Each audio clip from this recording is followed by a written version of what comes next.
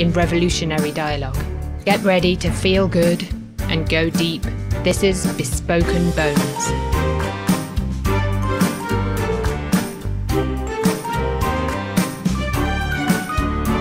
Hi, and welcome to Bespoken Bones, ancestors at the crossroads of sex, magic, and science.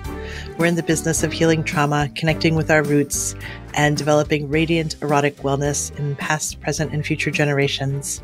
I'm your host, Pavini Moray. It's such a pleasure today to welcome Ayana Omilade Flewellen. She is a Black feminist, an archaeologist, a storyteller, and an artist. She is the co founder of the Society of Black Archaeologists and sits on the board of Diving with a Purpose. Currently, Dr. Flewellen is a UC President's postdoctoral fellow at the University of California, Berkeley. She will start an appointment as an assistant professor in the Department of Anthropology at UC Riverside this spring. Her research and teaching interests are shaped by and speak to Black feminist theory, historical archaeology, maritime heritage conservation, public and community engaged archaeology, processes of identity formations, and representations of slavery.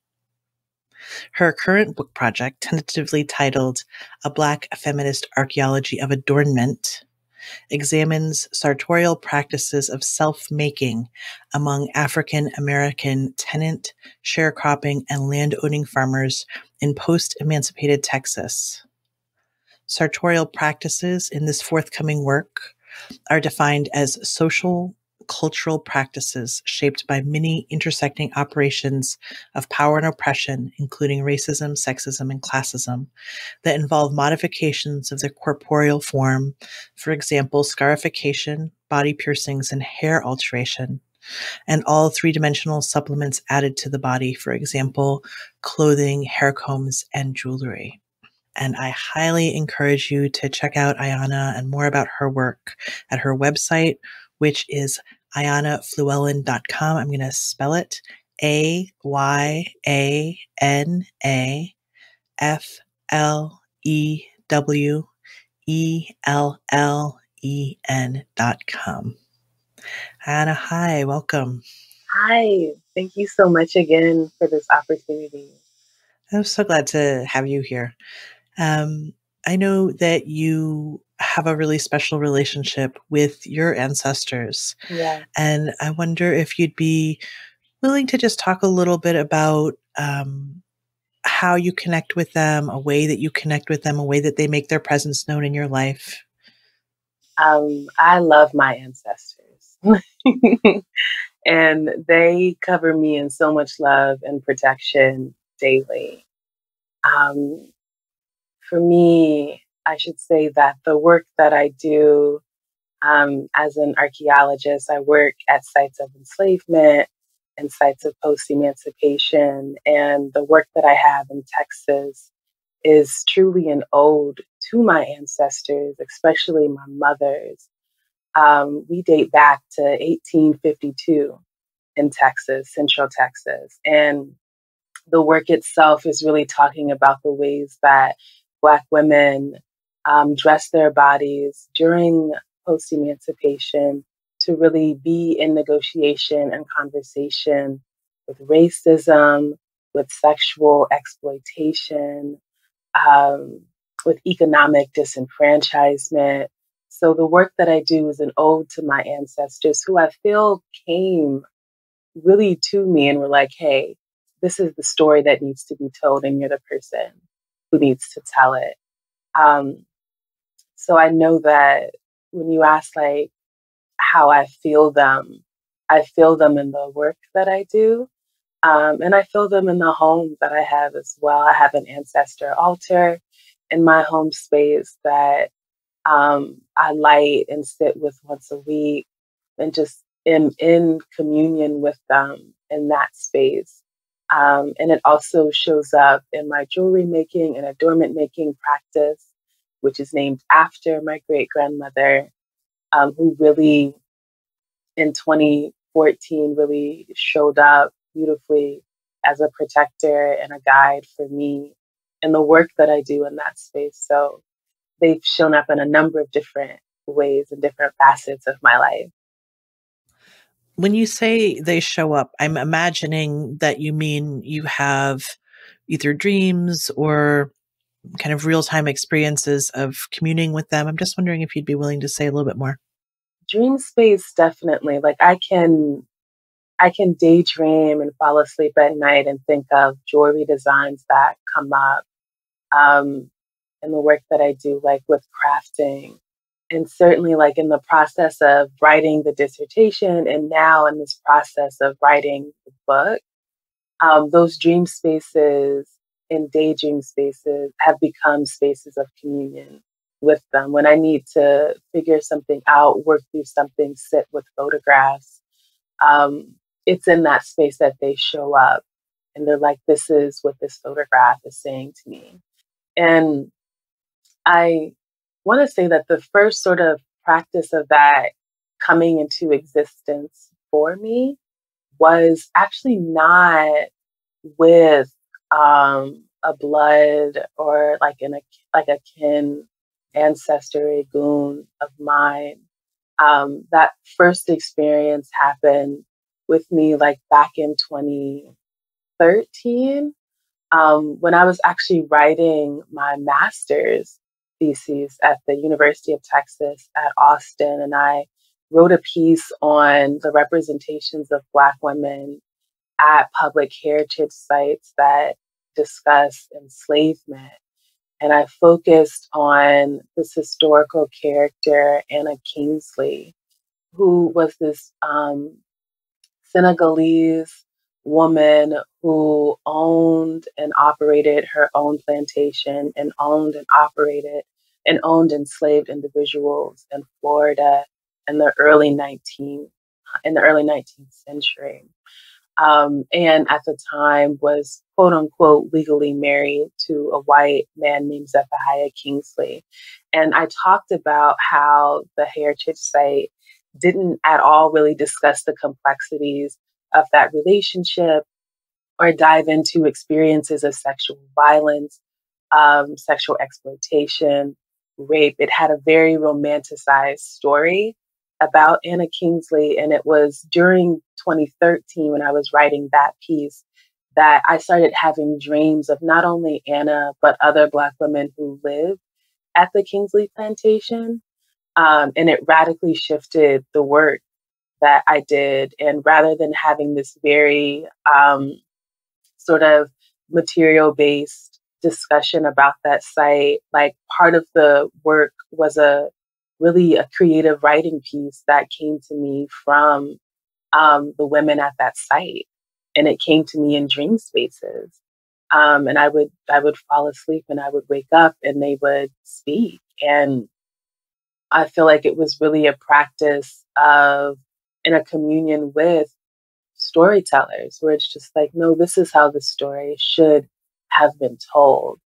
So it's been a really interesting journey to see who all shows up when you're open or when I'm open. This is something I've heard from many different artists um, who are working with ancestors or transcestors of like the the way that the relationship starts to evolve and unfold with like being in their archives or being on the the sites of wherever the the thing that was happening was and it sounds like um yeah i'm just curious and it's not necessary and we can edit it out totally if if you don't have access to it but i just wonder if there's anything that you want to share from that creative writing project. Um oh wow. It's yeah fine if not but it just sounds yeah. like oh that would be beautiful to hear a little bit of it. Um i could actually i could look for some of it on my laptop. Okay. So it was called um, Three Oiselles an exploration of possibility. And the title came from a ship leisure that talked about the three women who Zephaniah Kingsley had um, purchased. And I want to say this was either during his time in Cuba or it was in Florida. Um, we know that Anna was one of the three women that was purchased by Zephaniah. So it opens with the title Anna Anta Majinanjai Kingsley. Um, and it reads The only thing I felt was Sophie's hand grasping mine. No sight or smell, just her touch and her spirit warm next to me. The ship had stopped sailing, so the rocking wasn't as fierce, but I stopped feeling the water tugging at my stomach after the first Van Weir passed.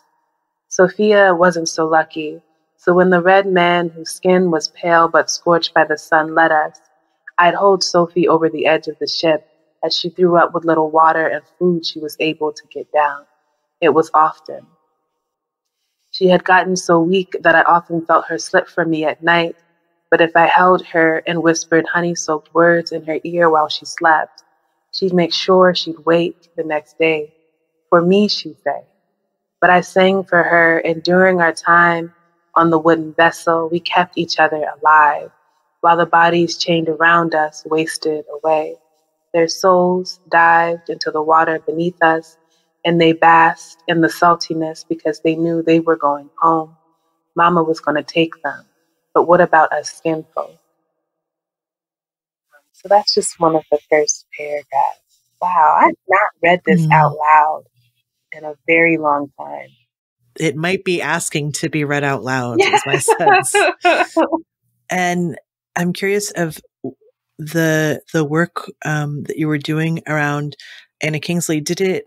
I mean, my experience with with ancestors sometimes is that there's something that needs to be resolved or something that needs to be acknowledged or is there some kind of justice that that needs to happen and i'm i'm just curious if you had that sense or if there was anything that in your relationship with her she was needing? I think it was this um this issue and this this need. It was almost like a haunting really where there's avery gordon has this book called um, ghostly matters where she talks about haunting as there needing as a something that needs to be done and that's the feeling behind the haunting um, and that definitely resonated with me as i was doing work with anna kingsley where here was this black woman and all of her complexity this senegalese woman and all of her complexity who was brought from the continent of africa to this new world um, and against all odds was in this engagement with capitalism in this way that afforded her land ownership, afforded her um, ownership over other African um, people. Like it was, it was a very complex story of Black womanhood in my eyes, and I felt that as well. And the site itself had a very truncated narrative around who she was, how she operated, um, the space that she took up on that, or the spaces that were available to her on that plantation site. Um, and I felt, and and I feel like the sort of drive or desire was to say that, you know, I took up all this space. I did all of this work and labor on this plantation and this being Anna. And there needs to be a reckoning with that um, and it was a reckoning not only for her, but for other Black women who had lived on that site as well. There had to be a reckoning for what had taken place. And part of that is due not only to the narrative that the National Park Service had about that site, um, but also to the historical work that had been written about these historical figures. There's a book um, called Zephaniah Kingsley um, and it has a number of different titles, and one of them is benevolent slave owner, um, which is an oxymoron to me. I'm like, you can't be benevolent and enslave other beings. And I take that up even as I talk about like the space that Anna um, occupied as well. Like there's definite harm that comes from that, and it has to be. That also is like the complexity that has to be reckoned with. Um, so I feel like there is all this romanticization about um, that time period rather than a real reveling in the complexity of it. And it definitely is something that needed to be said out loud, where it's like, no, like this is a very complex history. The lives of these Black women who were and faced sexual exploitation on a daily basis, like this is something that has to be talked about and is central to this and essential to this space. And part of it is also that the sort of main space where she was talked about was also um, the kitchen site where it was said that she lived um, in a separate dwelling from the main house in this kitchen site. And I also, in the same vein, I was just like, if we think about the plantation, if we think about the access that um, plantation owners had to this site, if we think about the ways in which she operated and was said to have run this plantation site when Zephaniah was an absentee, which was often, then why would we only talk about her in this kitchen site as well when we talk about other um, white historical figures in every space on that land? So I definitely feel like the reckoning was also a reckoning with the historical narratives that had been written about Anna and also just like an ownership of the space as well and the geography. And like I said, not just for her, but in general around how Black women are talked about during the era of enslavement. How does it feel different to you now that you've done this piece of work it's it's almost like you've like made it more whole or made it more complex and more nuanced that there's there's more available. I'm just curious if like you have any sense of what's different either in her story in her lineages or in that um on that land or in you. Like what's different? I think like what that whole experience taught me about my own being about my own work is that there has to be a communion with spirit before anything else. And um, I think about that going into the work that I do in Texas. Um, and then my current work, I currently excavate at a site on St. Croix in the US Virgin Islands. It's a 18th century Danish sugar plantation. And I work on that site with about four other um, scholars. And every year that we go down to St. Croix and we excavate at the estate Little Princess, we do a libation ceremony prior to putting a shovel in the ground. And there's just the way that, like, for me, what has shifted is that what makes the work possible, what makes the research possible, um, is this knowing that it's a conversation with the ancestors. It's a knowing that the knowledge that we gain from this space is only knowledge that's been gained because they've allowed access to it. So that's definitely like what has shifted in me and my approach to this research, especially in a field that very much likes to position itself as staunchly um, scientific and empirically data driven in some regards, um, or in some strands of it where the work that I do with my colleagues is more of in a vein of um, slow archaeology, where it's just, you know, we have to take time to really be present with everything that is on this land prior to digging, prior to doing the research, prior to asking these questions.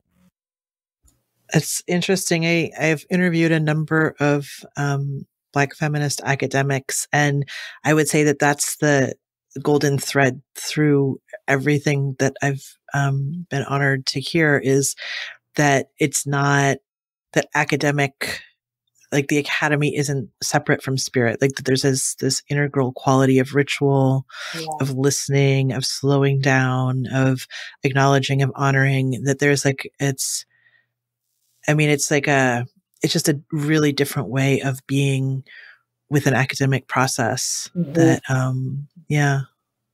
Yeah. Yeah i feel absolutely. really grateful for that. Yeah and um it's i feel like it's for me at least um it's been rejuvenating. Like it's it's been it's been like what has made the work possible and I don't have statistics offhand, but I know from talking to a number of colleagues, you know, being a Black woman in academia is a space of, um, can be a space of isolation in a lot of ways. And I feel like a tool and technique of survival in this space, a tool and technique of wellness in this space is really just understanding the network that you have. And part of that network are the ancestors that show up in that space with us, that we tap into, that I tap into, that make being in a space that can feel so isolating, that can feel so um, devaluing in a lot of ways. Um, that I know why I'm there. I know who's there with me. I know who has my back when I'm in those spaces. Um, and I know what's possible. I know I'm possible because of who's there with me. Mm-hmm. I'm just thinking about when I was on uh, ancestral pilgrimage a few years ago in England and Scotland. I went to a bunch of archaeology museums. Mm. And in some of them, I mean, I mean, obviously the adornments were amazing. And um, in one museum in particular, I uh, I got to touch the thing. Like they had this like, you know, basically like a it's not a petting zoo. It's like a show and tell for kids, mm. you know, where mm. they bring special things out and then people get to touch them. And I was like, I want to touch the thing. So I got to, to touch some of the, like the combs and the things that my people used. But, um, one of the things that was really deeply disturbing was that they had human remains in mm. glass boxes, right? And I just, it, it, just seems so weird and off to me of like, how can, science like for the sake of science we're going to exhume this skeleton and and put it on display and talk about how it died like, it was so strange to me and i just hearing what you're saying the like the humanity right of like oh this is how we do this thing in a way that is respectful and honoring and doesn't other mm-hmm. right? Because it's like that was my sense of those seeing those those remains was like that's like you're just like that's a human that you were just made other somehow, yeah. you know, of like, yeah. it's not our people anymore. I'm like that, you know, that could be my relative. Like, hey, mm-hmm. like, what's up with that? Uh, yeah. Any yeah. thoughts that you have on any of that? Yeah. Archaeology as a discipline, um, just historically has been extractive, especially here in North America, where its foundations are in the decimation of Native American burial grounds. Like that is how that field came to be in existence here in the United States. Um, and the practice of extractive um, knowledge that does not include does not include like the epistemologies, like the knowledge formations of Native Americans, the knowledge formations of African Americans, people of African descent when you're working on these African diasporic sites. Um, there's a way that archaeology has been done and continues to be done, quite frankly, in this country that is still very extractive, that is still very much about pilfering information, about otherizing people, and not about the communities that are impacted by this work.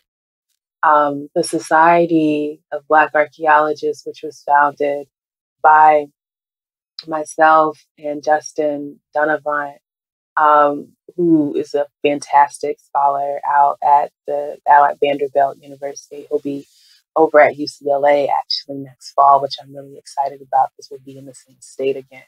But Justin and I founded SBA back in 2011, and it's been um, a nonprofit organization since 2018 and the main driving force for SBA was to be a lead in these discussions around the material well being of African diasporic sites. And part of this has come up around the sort of rise since the 1970s of archaeologists, predominantly white, working on African diasporic sites and not including African um, diasporic descendant communities, Black di- that Black stakeholder communities are really being in conversations with Black studies scholars who have brilliant formations, theoretical formations of how these sites, how these people existed, lived, and came to be. Um, so I feel like the like the response to your sharing is that archaeology as a practice, as a discipline, um, needs shifting and it still needs shifting. And I feel like I've come across small pockets of archaeologists who are determined to do work differently. Um, And that different formation of it is humanizing people in the past and humanizing people in the present as well, where it's like, hey, if you are working at an archaeological site, then the people who lay claim to that site, be it through blood, be it through imagination, deserve to have a say in how things are done at that site, deserve to have a say in what stories are told about that site, how those stories are told. And that practice will look different based on the different locales that people are doing work in. But community engagement, the centering of community and well being should be central to what we do as archaeologists rather than it being this drive or quest for objective knowledge that doesn't exist. Yeah, thank you for that. I um I hadn't thought about it as extractive, and that's actually a really helpful framing of this is yeah, just another way that cultural appropriation or white supremacy works, right? Of of this like through this seemingly kind of innocuous practice of let's understand the peoples who came before us mm-hmm. without the right exactly what you're saying considering the stakeholders. That's really helpful. I um i recently was presented i'm i think i'm still in the the quandary of it. There's a um i live in western north carolina on the on cherokee land and um there's a like a huge antique market near where I live. That's a fun place to go. And they, um, they had, I guess they're called like shadow boxes, owls, like maybe from like the 60s or 70s. Um, they had three of them that were full of uh, artifacts like arrowheads and axe heads and amulets and, and different things from, and they were all tagged. Uh, so whoever the collector had been, like, had found them and they said where they were from and stuff. But um, they're just like in this this random antique barn and like and they're they're beautiful. And i was like what's my responsibility here to these to these things and to the the people whose land these are from? And like they're already out of the land. And like what's the right thing to it, it didn't feel right to like buy them and take them home and like ritually take care of them. And i was like well would i buy them and and give them back to the cherokee people? Like that seems like presumptuous and weird. Like i don't know. It was anyway, it's been something that I've been sitting with for the past few months as I've been thinking about it. Um, just kind of like, and I, and I think it leads to that, like what you were saying about extraction of like, what do we do once something's been extracted mm-hmm. and we can't go back, right? Like we can't go back and like rehome those things where they exactly were. Mm-hmm. Um, mm-hmm. And now they're just like out and it's like, I now it's a different kind of relic, right? Yeah. Yeah. It's a different kind of, of story mm-hmm. about yeah. Any thoughts that you have that you want to share about that? And I think about when you say it's a different story, and I'm like, I wonder what came to my mind was like, it's a story for who? You know, like there's a way that um, once once the knowledge has been extracted, once the artifacts have been extracted, oftentimes the stories and the historical narratives that are created around it are not for the consumption of the people who it belonged to. Like, it's is it a story for the Cherokee whose land those artifacts belong to?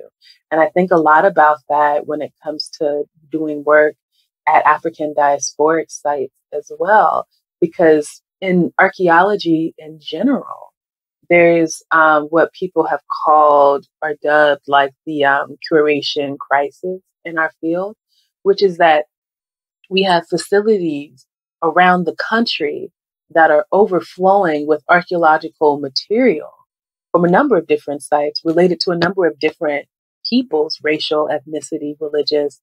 Um, and they're just sitting in boxes. And some of it are material remains, some of it are like eco facts, like soil remains, organic remains, and then some of them are burial remains as well that are just sitting in boxes. And the question for me is always, what, what, what is it? What's the purpose of it? Like, what, what is the purpose of having everything extracted, pulled from the land, recovered, for it to just be in boxes? Like, there has to be some sort, for my, in my mind, I'm like, there has to be some sort of story that's told around it. Um, there has to be some sort of ways in which people who that material belongs to, especially, have access to it, um, which doesn't always happen. And a complex example of this is on um, the island of St. Croix, where I currently do work. They have this jewelry um, made out of um, historical ceramics called Chaney. And Chaney is is short for China that's been polished and rounded. Um, and Chaney jewelry are these um, are these historic ceramic artifacts that have been oftentimes extracted by folks who live on that land and then created or sold to different um, jewelry manufacturers on island. And there are different levels of extraction for that. There are these very large sort of um, companies that are actively out and seeking and um, digging up historical sites. And then there are others, um, like a couple of artists that I know on St. Croix, that come across these artifacts all the time as they're just gardening in their backyards because St. Croix is an island that was used in sugar production that from um, tip to tip had been covered in plantation sites. So the archaeology, the material culture underneath that ground is rich. You need only a shovel or a pick or a trowel that you're gardening with um, to really recover anything. Um, but the practice of creating this jewelry um, has caused a sort of like commotion amongst um, or among archaeologists, especially there was like a conference that came down there two years ago where the archaeologists were up in arms about these people who have lived on this land for some of them for eight generations and are using these historical artifacts to produce this jewelry and part of my mind is like, yes, like there needs to be a conversation around what knowledge can come from the ceramics themselves. Like that is important. Like understanding historical context to be able to really talk about these sites and who these materials belong to, that is important. And also, people on this island have created avenues of economic access that they otherwise do not have access to. And that is not something that can be ignored that the people who this material culture belongs to, the history that belongs to them, this is how they want to share that history is in wearing it. That's a really powerful story that shouldn't be ignored under the pretense of, um, well, they're just looting these sites. I'm like, uh, it's it's a bit more complex than that. Um, but that's a story that's just sort of sparked my mind when it comes to um, these sort of uh, curiosity cabinets, as people would um, would call them, where people just hoard different different artifacts from different cultural groups, and they're on display as status symbols in their households and things like that. Like that's one way that people are doing this, and then there are a lot of other ways that, especially local communities, um, are trying to have conversations about the material culture um, from their path. Yeah, it's helpful. I mean, I think it's what I'm getting from our conversation is how many layers of story there are, and that there's they're kind of dominant paradigm stories which assert themselves as like this is the one true story.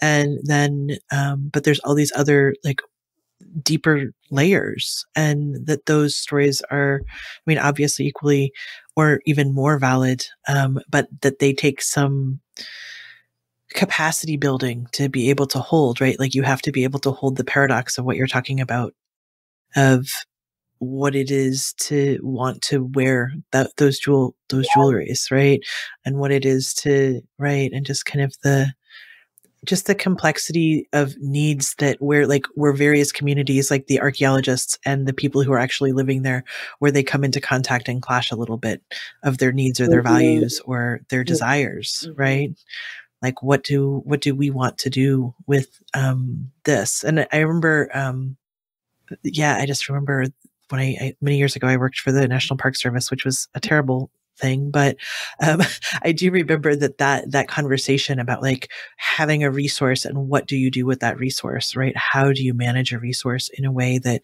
makes it accessible and honors all the stakeholders and yeah. But I, I think it really comes down to power and mm. desire also, right? Like what's actually going to happen comes down to that level of like who's going to make the final yeah. say, right? Yeah. Mm. If you I'm I'm curious if you want to talk about adornment and ancestors and sex. yeah. I know that's that's kind of a vague lead in, but I, am just really aware that you're you are you're you're holding these very particular you're weaving these threads right of adornment of um, feminism of storytelling of archaeology of blackness right if of all of, of, of lands like you're that's i mean i guess this is your life work right mm-hmm. this is what you're doing with your life is weaving these threads and so yeah i'm i don't really have a more specific question but like it just seems really I don't know, potent to think about like the connection between adornment and sexuality, yeah. especially on um, for Black women. Yeah. And I think a lot about um, desire comes up a lot for me. And when I initially started doing work um, on adornment, I remember having a conversation with my advisor um, and she wanted me to do a project that was ceramic based, which literally meant I would have been looking at thousands of pieces of ceramic and weaving together like conversations around economic access, um, aesthetic choice, things like that. And I told her, I was like, Maria, if I'm going to spend three years writing this, it has to be on something that I love. Um, and as much as I love ceramics and I think that they're beautiful and they do tell very powerful stories about choice, um, what I do um, outside of academia or that I've woven into my work as well is make jewelry. Um, and I make jewelry because there's always been this very powerful understanding for me, um, understanding from my mother who taught me how to make jewelry, um, that adorning ourselves um, is important and the everyday practice of dressing our bodies um, is of importance. And it's of importance for me, and, and I think the wording that I got and sort of landed on really pulled from this brilliant scholar, Omise'eke Tinsley. She has a work, her first text called Thiefing Sugar. Um, in that text, she talks about same sex desire in the Caribbean and talks about um, women who loved other women and the practice during enslavement to love another body that was deemed um, inhuman um, was really to put value in self in ways that society um, really worked to diminish. And the same thing for me came up around practices of adornment when it came to very what, because um, I think when people think about adornment, oftentimes, um, you know, especially when it comes to African Americans, we think about high, um, high dress styles of like our Sunday best, our fancy portraiture sort of dress um, throughout and over time. But I really look at just everyday practices of dressing the body and what it meant to put clothing on this body, what it meant being enslaved, um, and finding different natural resources to shift and alter the clo- like the color of your clothing, to shift and alter the stitch of your frock, like all of that, all of the energy, labor of twisting and bending metal to create wedding bands at times, what it meant to then have access to more um, mass produced goods like in the latter half of the 19th century, like what it meant to really put labor, time, value, desire on our bodies as um, Black people, specifically as Black women, um, in a society that deemed us only valuable by our labor and our reproductive labor at that. What did it meant to actually put um, value in other ways on our bodies, to dress ourselves, to do our hair? And I talk about that as a space of, for me, has just been a space of really saying, hey, like in these very small practices, we can talk about how people love themselves and loved others. Um, so I feel like it got it got at this piece of, around desire in particular ways um, that I don't think gets talked about enough when we think about um, the era of enslavement. There's so much horror that's there because it is and it's real. Um, and there's this very complex space where, like, in the midst of very horrifying circumstances, um, people were loving themselves, people were loving others, people were building families, people were celebrating and worshiping in churches.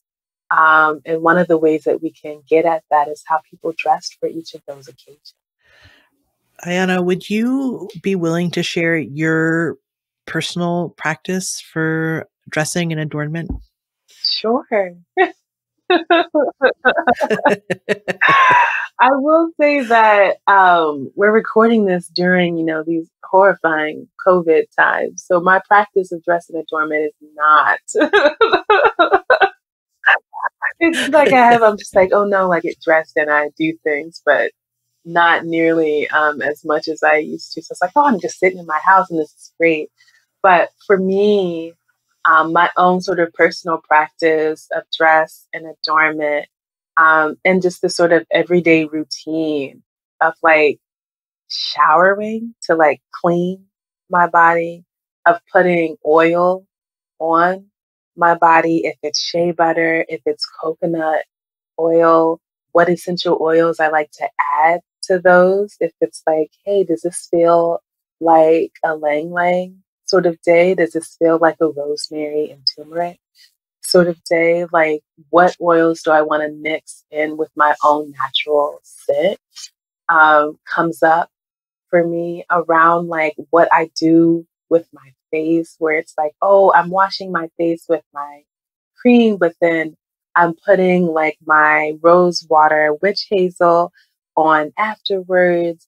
And I'm just showing my body love and care, how I want to do my hair, how I want to present for myself, and then also how I want to present out in the world as well.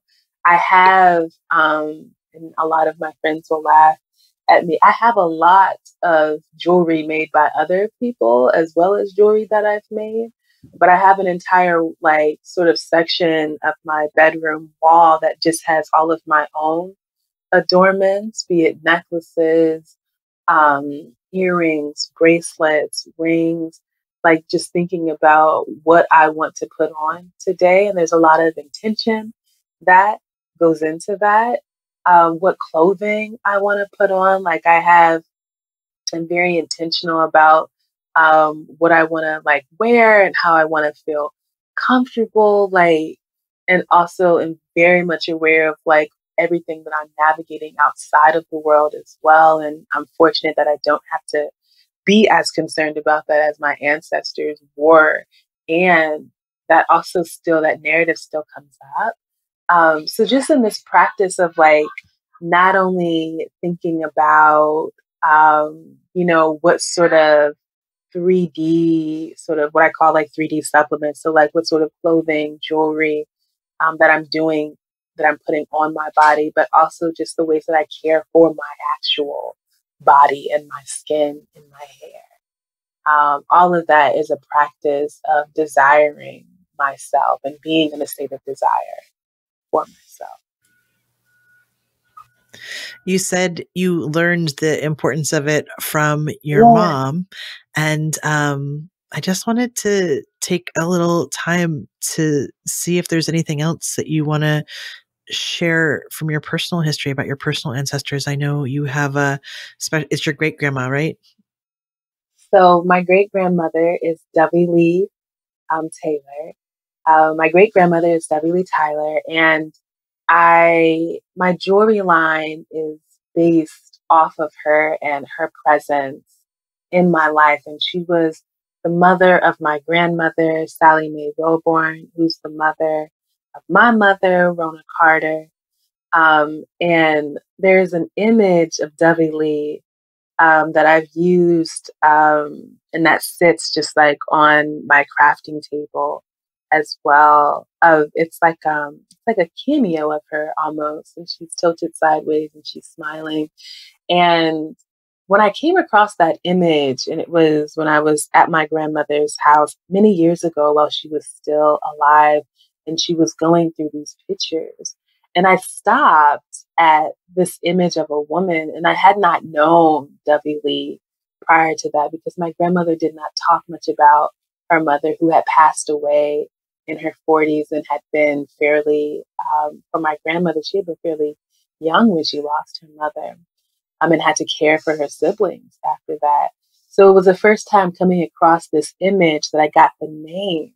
And I was like, this image, I felt so drawn to it. I was like, oh no, like this, this image, this person, someone saying right now, this is important. Um, and I really felt like that was one of the first sort of like spaces that Dovie Lee showed up and was like, hey, there I am.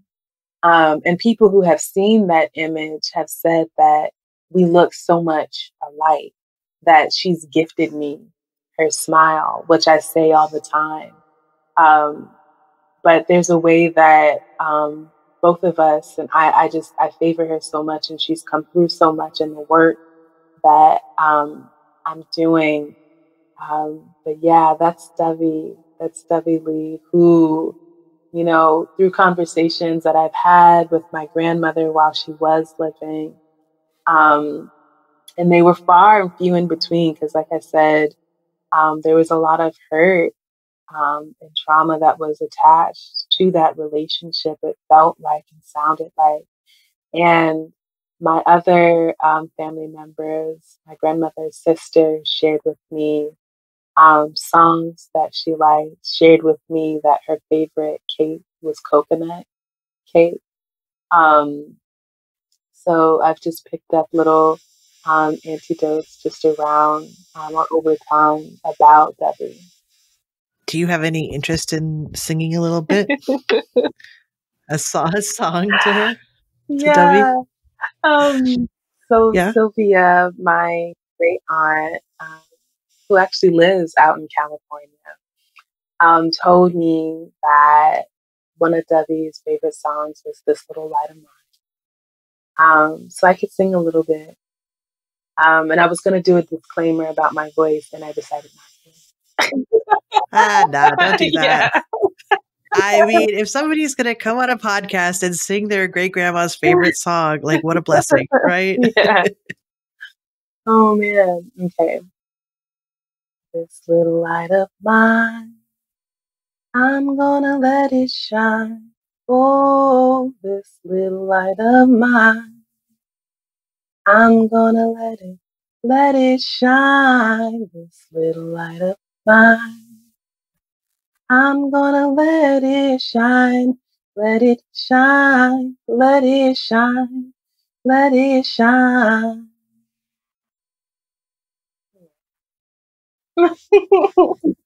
amazing, amazing. Oh, blessings to Dovie Lee. Uh, I hope she heard that. so sweet. I mean, can you like for reals? Can you imagine just like being wherever the ancestors are, being in all of the ancestor land, and be like, "Oh, wait, what's that sound? Is that my great great granddaughter singing my favorite song? Like how effing cool!" yes, and I think about um because I sometimes have these um, when I think about my grandmother and I think about my grandfather, so Sally Mae and Jeremiah Carter, I sometimes think about them dancing.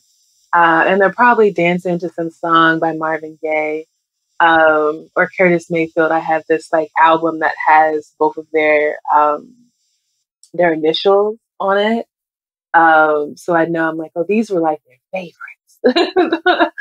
um, but I think about them dancing and I think about Dovie as well. Like, oh, um, and there's something really powerful for me about singing and about the voice. And um, when I was an undergrad for like my first two years at the University of Florida, I was in the gospel choir. Um, and I have a really contentious relationship with Christianity now. But I will say that um, the voice, like singing and gospel music, like those are pathways for spirit. Um, and we've definitely tapped that is a it's definitely a black tradition to really tap into the voice as a way to connect with our ancestors. And it still happens today. Like I know that if anything, like when my anxiety rises, I know that I could sing a song and it helps. And I know that it helps because of the vibration and who comes to comfort me in that. Like I, I know that that's why it works. Yeah, it's beautiful. And it's like I think about how sound waves work. I mean, this it's kind of like archaeology mm-hmm. actually, because like if you like if you put a sound wave out, it just keeps going, right? It just like everything that has ever been said is still being said somewhere in the mm-hmm. universe, right? Those sound waves are still moving out. And so that I'm just thinking about like your ancestors singing those songs, like there's still a resonance that's happening. There's still it's happening yeah. somewhere, right? And when you when you sing those songs, it's joining with. It's mm, a yeah. Um, yeah, yeah, yeah. That's beautiful.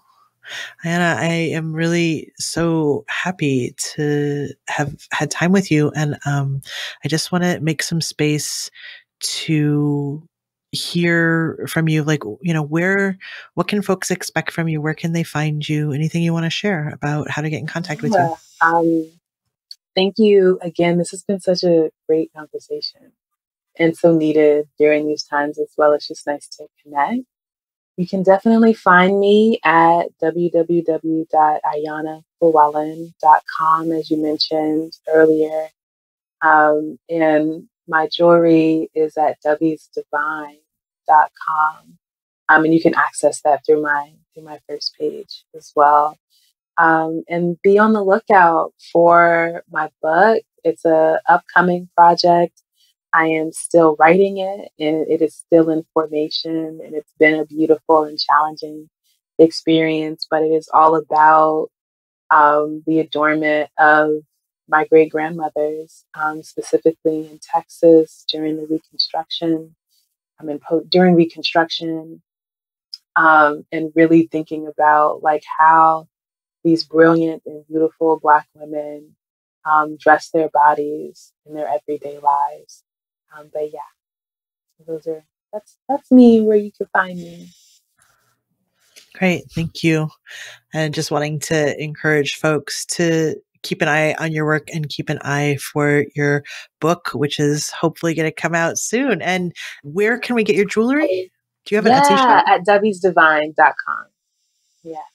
Dovies, D O V I E S, divine.com. Divine or design? Sorry. Divine.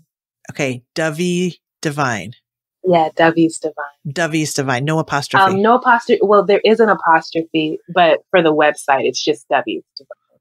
It's yeah. just Dovie's Design. Okay, awesome, wonderful, and um, just thank you so much. And oh, I feel so inspired by listening to you and just listening to the work that you're mm-hmm. doing and the pieces that you're holding, and um, grateful thank, thank you. you. Thank you so much again. So, just to our listeners, I want to thank you for listening to this episode of Bespoken Bones. And if you found this helpful, um, of course, check out Ayana's website and support her work in the world. And if you want to support Bespoken Bones, you can do that on Patreon. Um, we also have a new YouTube channel uh, where we're putting up all the shows um, and working on transcriptions of all the shows. So that um, is accessible on the website. And I'm just really glad to spend this special time with you and wishing you and your loved ones a lot of care in this weird moment that we're all in. I'm Pavini Moray. This is Bespoken Bones, and we'll be back every full and new moon with more embodied goodness and ancestral wisdom.